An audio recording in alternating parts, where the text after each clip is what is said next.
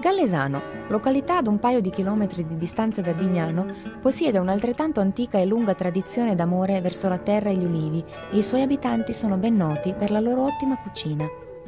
Gallesano possiede diversi monumenti culturali, come la chiesa di San Giusto, basilica romanica a tre navate con l'abside del IX secolo, la chiesa parrocchiale di San Rocco del 1613 e le chiesette di San Antonio e San Giuseppe del XV secolo. Questo paesino roccioso è noto dai tempi preistorici ed è interessante come nel Medioevo sia stato risparmiato dalle fatali pestilenze che hanno devastato l'Istria a quei tempi.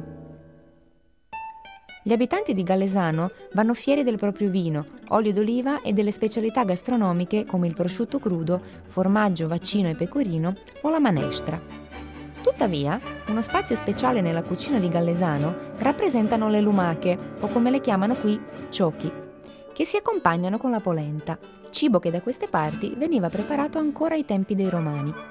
Questa specialità viene festeggiata il giorno di Ferragosto, quando viene organizzata la festa dei ciocchi.